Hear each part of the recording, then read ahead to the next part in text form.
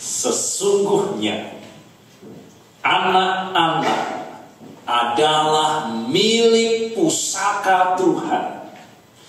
Begitu penting dan berharga di mata Tuhan, milik Tuhan, bahkan seperti pusaka dari Tuhan itu sendiri. Itu sebabnya hari ini sebagai gereja kita membuat acara khusus karena ada Patus dia, ada Matus dia, ada Grand Parents, tetapi tidak ada yang namanya Children's Day. Maka gereja membuat sendiri yang namanya Children's Day ya untuk kita rayakan bersama-sama hari ini.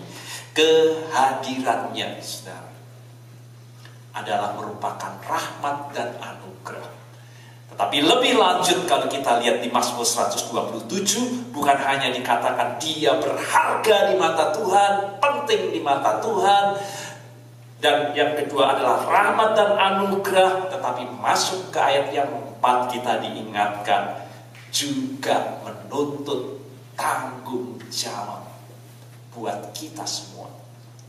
Teristimewa orang tua dan tentu juga kita sebagai gereja bersama-sama.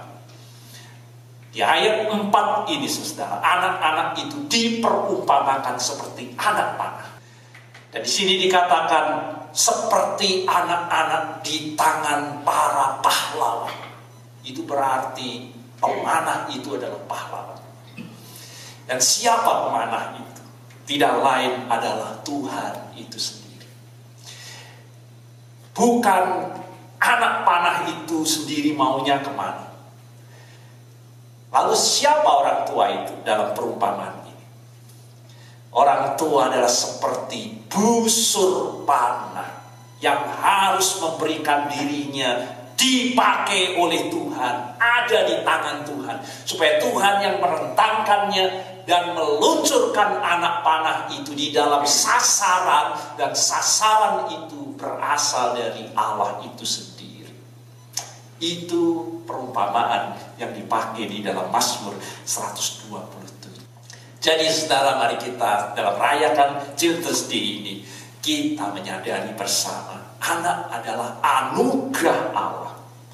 Tetapi sekaligus juga hari ini kita sadari juga merupakan amanat. Bukan hanya anugerah, tetapi juga amanat dari Tuhan yang membawa pesan dari Allah berupa sebuah perintah dan kewajiban bagi setiap orang tua untuk mengajarkan kebajikan dan kebijaksanaan yaitu menumbuh kembangkan anak-anak yang milik Tuhan itu agar menjadi insan-insan yang hidup di dalam kasih dan berlimpah di dalam kebajikan. Tetapi hari ini saudara, kita berbeda dengan dunia. Tidak demikian artinya bagi Tuhan. Alkitab mengajarkan justru sebaliknya. Maka mari kita pahami apa yang dikata ajarkan Alkitab mengenai kebijaksanaan itu. Apa itu? Bijaksana. Kalau orang disebut bijaksana dalam kamus itu diartikan selalu menggunakan akal budinya. Menggunakan pikiran sehatnya. Berdasarkan pengalamannya dan pengetahuannya. Jadi orang bijaksana adalah orang yang berilmu tahu, tajam pikiran, pandai, cermat. Itu menurut kamus. Cakap bertindak apabila menghadapi kesulitan. Kata ini disinonimkan dengan arif. Artinya cerdik, pandai, berilmu, tahu, tajam pikirannya. Dari itu menurut kamus besar bahasa Indonesia sesuai dengan apa yang dipahami dunia mengenai bijaksana. Dan berapa banyak kita orang Kristen yang hanyut dalam falsafah dunia ini. Sehingga fokus kita kepada anak-anak lebih kepada segenap daya dan upaya kita yang kita curahkan agar anak-anak kita itu menjadi cerdik pandai menurut ukuran dunia seperti kamus besar bahasa Indonesia. Saudara mengusahakan bagaimana anak-anak kita itu pandai, cerdik dan pandai.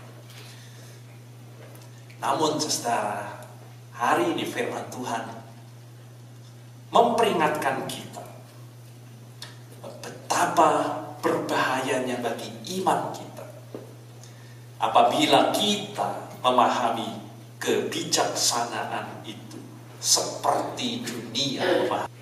Alkitab saudara mengajar kita untuk memahami kebijaksanaan justru secara berbeda. Alkitab mengingatkan kita, celakalah mereka yang memandang dirinya bijaksana. Seperti Kaus tadi, berasal dari pengalamannya saya ini punya banyak pengalaman, saya ini pandai, saya punya banyak pengetahuan. Dan menganggap dirinya pintar. Saya lihat di Yesaya pasal 5 ayat 21. Celakalah. Dan banyak kita orang tua tidak menyadari bahwa kita mengajarkan banyak falsafah kepandaian dunia, tetapi pada akhirnya akan membawa rubuhnya damai dan sejahtera dalam kehidupan kita. Manusia berusaha keras untuk menjadi bijak atau memiliki kebijaksanaan menurut duniawi yaitu pandai, cerdik, modern, semakin petah lidahnya semakin pandai membantah orang, termasuk membantah orang tuanya, merasa bahwa dirinya hebat dan pandai menurut ukurannya, padahal Alkitab saudara mengajarkan yang sebaliknya yaitu kepada kesetiaan kepada kebenaran lama yaitu kebenaran yang datang dari Tuhan mulai dari tahun 1800-an ada seorang yang mempengaruhi budaya seluruh dunia. Namanya adalah dia dianggap sebagai filsuf yaitu Ralph Waldo Emerson. Kalau saudara belajar filsafat, saudara Waldo Emerson ini memimpin suatu gerakan filsafat yang baru yang dikenal dengan transcendentalisme. Transcendent. Dulu kita menganggap yang transcendent itu adalah Tuhan. Kan? Tetapi dengan filsafat baru mulai dari tahun 1800-an, Ralph Waldo Emerson mengajarkan transcendentalisme itu artinya menentang kebenaran lama yang saya katakan tadi. Bahwa kebenaran itu berasal dari Tuhan. Sebaliknya menyatakan bahwa kebenaran berasal dari pemahaman pribadi. Emerson menulis demikian. Dengan meyakini pikiran Anda sendiri, Percaya bahwa apa yang benar bagi Anda dalam hati Anda itu benar bagi semua manusia. Jadi, dan berasal dari dalam diri kita, harus benar buat orang lain juga. Itulah yang disebut genius. Dan dalam penilaian Alkitab, orang yang demikian ini bukan orang yang bijak. Tetapi orang yang menganggap dirinya bijak menganggap dirinya bijak. Kita lihat di Amsal 26 ayat 5 dan 12. Jalan orang bodoh itu lurus bijak dalam anggapannya sendiri. Amsal 12 ayat yang ke-15.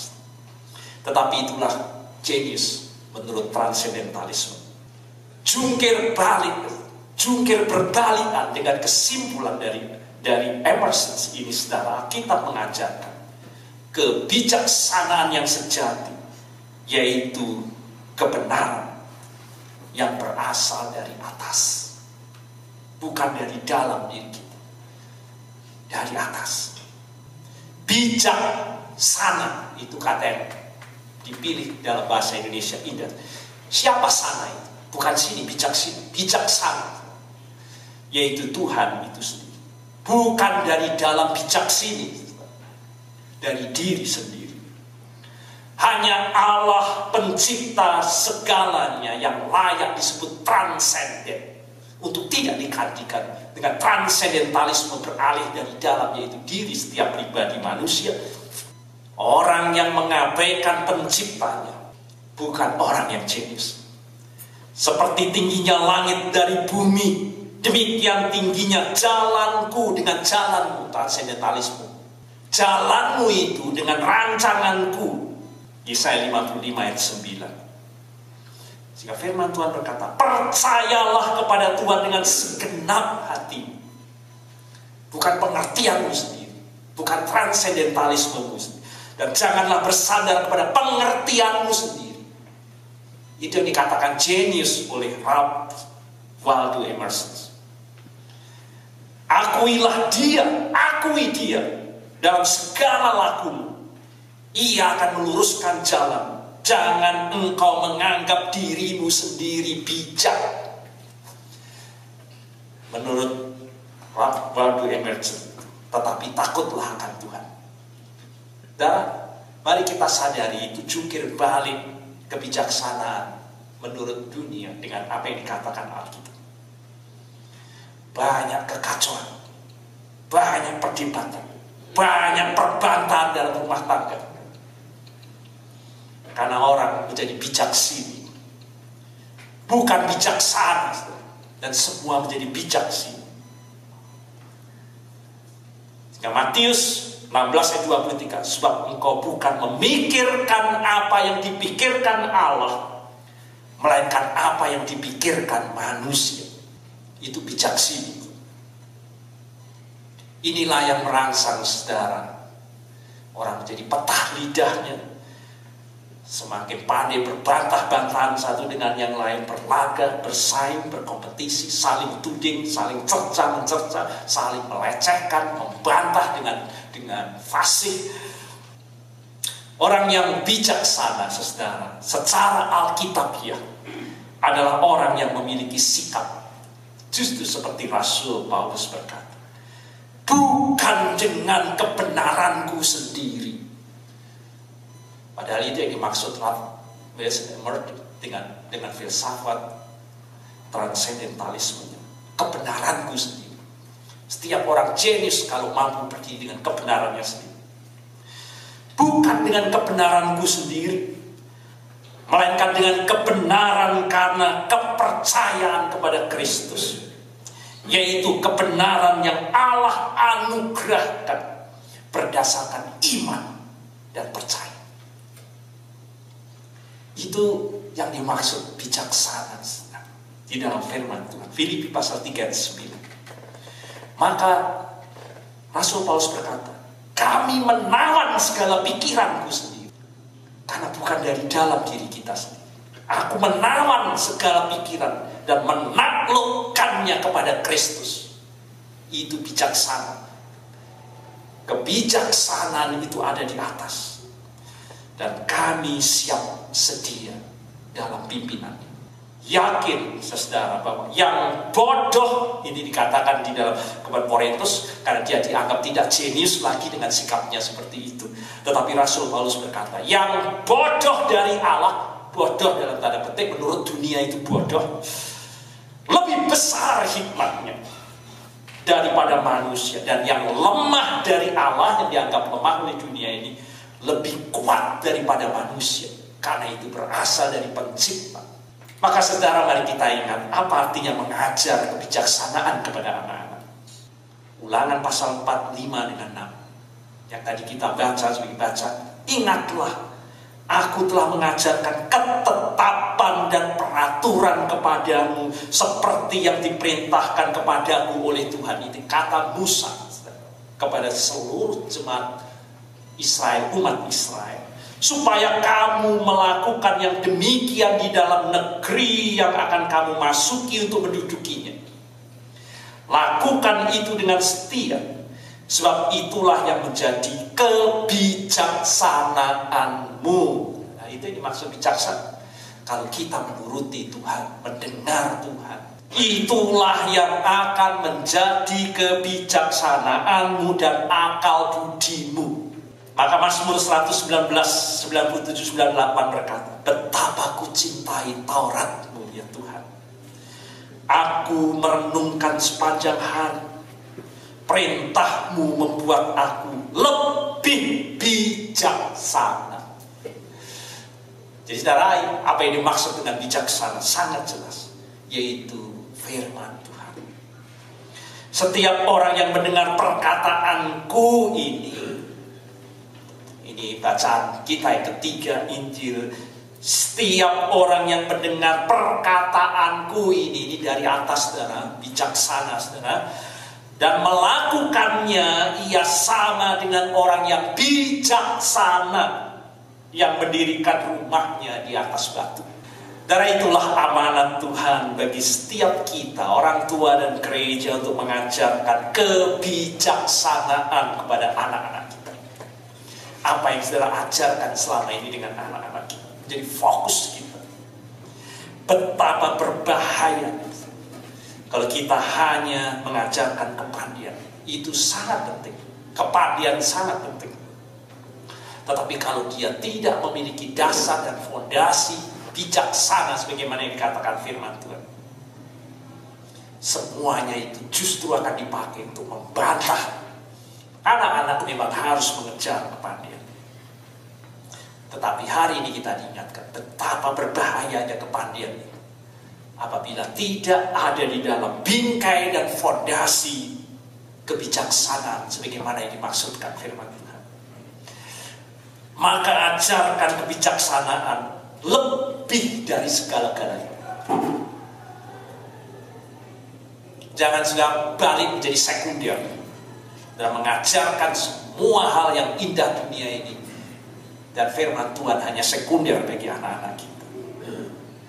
Sebagaimana dikatakan ulangan pasal 6 yang tadi kita baca. Apa yang kuperintahkan kepadamu hari ini yaitu firman Tuhan. Haruslah engkau perhatikan. Haruslah engkau mengajarkannya berulang-ulang, berulang-ulang. Di mana kita mengajarkannya? Tiap-tiap hari bahkan dikatakan ada di dahimu itu berarti bukan hanya dengan mulut dalam teladan hidup kita berulang-ulang kepada anak-anakmu dan membicarakannya apabila engkau duduk di rumahmu apabila engkau sedang dalam perjalanan apabila engkau berbaring dan apabila engkau bangun itu berarti setiap waktu setiap saat inilah yang terutama yang hakiki untuk kita ajarkan kepada anak-anak Haruslah juga engkau mengikatkannya sebagai tanda pada tanganmu. Haruslah menjadi lambang di dahimu. Dan haruslah engkau menuliskannya pada tiang rumahmu.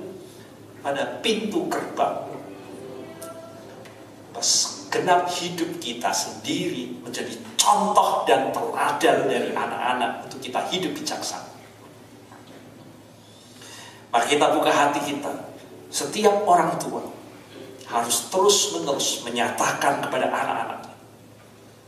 Sebagaimana yang dikatakan Yosua pasal 1 ayat 8. Anak-anakku, janganlah engkau lupa memperkatakan kebenaran firman Tuhan ini. Tetapi renungkan itu siang dan malam Itulah yang harus kita katakan kepada anak kita terus menerus anak-anakku sekali janganlah engkau lupa untuk memperkatakan kebenaran firman Tuhan ini dan renungkan siang dan malam supaya engkau bertindak hati-hati sesuai dengan sesuai dengan segala yang tertulis di dalamnya.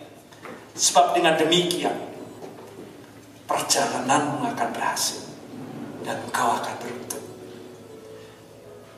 Bukankah telah kuperintahkan kepadamu anak-anakku? Kuatkan dan teguhkan hatimu. Jangan kecut dan tawar hatimu. Ikuti Tuhan dan Tuhan akan menyertai kau ke mana pun kau pergi. Darah itulah contoh mengajarkan kebijaksanaan kepada anak-anak. Bijaksana secara alkitabiah berarti berpengetahuan atau mengetahui firman Tuhan luas dan dalam. Itulah sebabnya kita mengadakan PA, pendalaman Alkitab. Lebih luas, lebih dalam. Mampu mengolah perenungan, refleksi atas hidup kita ini di bawah terang firman-Nya mampu menyusun pikiran dan menguji pikiran itu juga di dalam terang firman Tuhan. Jadi singkatnya saudara bijaksana adalah mengetahui apa yang baik, yang dikehendaki Tuhan, dan melakukannya. Sesederhana itu. Itulah orang yang bijaksana. Itulah yang akan membuat anak-anak kita sebagaimana dikatakan dalam firman Tuhan tahu diri. Berapa banyak Alkitab berbicara manusia yang tidak tahu diri, siapa dirinya di hadapan Tuhan dan sesamanya. Sehingga tidak tahu bersyukur dan berterima kasih baik kepada Tuhan maupun kepada orang tuanya ataupun kepada sesama. Berapa banyak orang-orang tidak bisa menghargai orang lain. Hanya pandai petah lidahnya untuk membantah. Alkitab juga berkata berapa banyak anak-anak akan bisa membuat pertimbangan yang baik. Sebab mereka itu tidak punya pertimbangan dan tidak ada pengertian pada mereka. Tidak punya dasar firman Tuhan. Tidak mengambil keputusan baik untuk jati dirinya, untuk apa pun dalam kehidupannya. Tidak ada pegangan. Sekiranya mereka bijaksana, itu berarti mereka punya firman Tuhan, tentulah mereka mengerti hal ini. Dan memperhatikan bagaimana kesudahan mereka bisa mengatur, meluangkan dan membuahkan waktu. Itu kita baca dalam bacaan kita pertama, ajar kami menghitung hari-hari kami sedemikian. Dengan mengingat dalam terang firman Tuhan, sehingga kami beroleh hati yang bijaksana. Berapa banyak kita menjadi bodoh, orang sedang mengejar dunia dan Yesus berkata, Hai kamu orang bodoh, Hari ini juga nyawamu diambil. Untuk apa semua yang kamu kumpulkan di dunia? Orang yang bijaksana menahan perkataannya. Orang yang berpengertian kepala dingin. Siapakah di antara kamu yang bijak dan berakal budi? Bukankah ia dengan cara hidup yang baik menyatakan perbuatannya oleh hikmat yang lahir dari kelemah lembutan? bisa membuat pilihan, bisa membuat keputusan yang tepat. Waspada terhadap apa pun, berjaga-jaga, mampu mengasihi Tuhan dan sesama. Itulah buah yang akan keluar dari setiap kebijaksanaan. Maka saudara mari kita terima anugerah Tuhan anak-anak.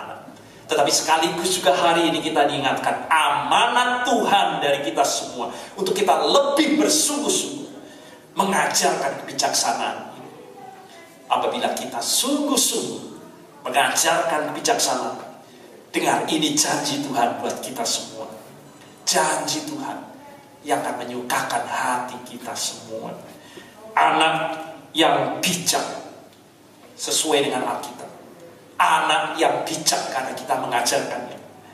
Mendatangkan sukacita kepada ayahnya tetapi anak yang bebal adalah kedukaan bagi ibunya. Berapa banyak saudara yang sedang mengalami hal seperti ini. Karena saudara lalai mengajarkan kebijaksanaan kepada anak-anak saudara. Anak yang bijak menggembirakan ayahnya. Tetapi orang yang tebal akan menghina ibunya. Amin.